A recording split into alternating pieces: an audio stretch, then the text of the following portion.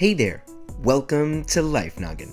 Quite a lot happens in the first years of your life. Unlike my human friends, I was created from a few special pixels. But things are a bit different for you. So what really happens in the first year after you're born? To begin, let's take a look at that sweet noggin of yours. That's right, I'm talking about your brain. When you're born, your brain has about all of the neurons that it will ever have. It doubles in size the first year, reaching about 80% of its adult volume by age 3. The volume of your cerebellum increases substantially during year 1, which appears to be related to the quick development of your motor skills in this time. The power of recognition also dramatically shoots up, tied to significant growth occurring in the hippocampus. Every time I say hippocampus, I always think about a bunch of hippos going to college, and it makes me smile. All joking aside, your synapses are also formed at a faster rate in the first year of your life or so than any other time. Your brain actually seems to create more synapses than it needs, eliminating some later on in the process called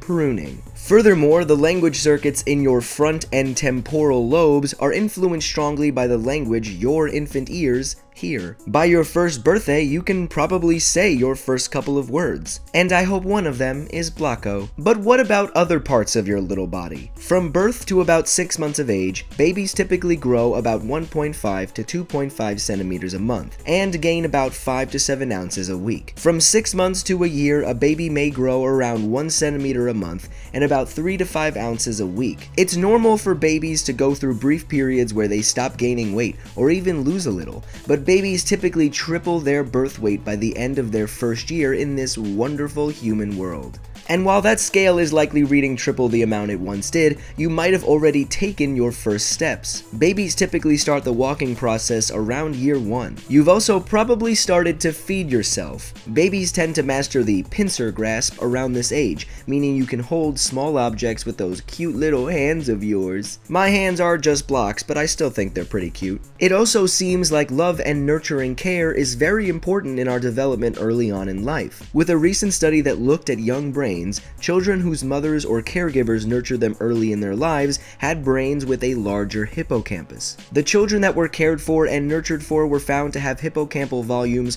around 10% larger than children who were not as nurtured. Not only can a caregiver's nurturing be good for the development of a child, it might also be physically changing their brains. Aw, who's a good smart baby?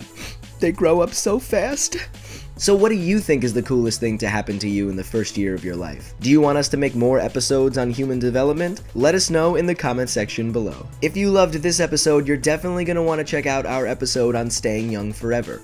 When your DNA replicates, mistakes can be made that lead to changes in the DNA sequence. These mistakes are usually fixed, but sometimes they slip through the cracks, leaving your DNA damaged, and this decay has been directly linked to aging. My name is Blocko, this has been Life Noggin, don't forget to keep on thinking.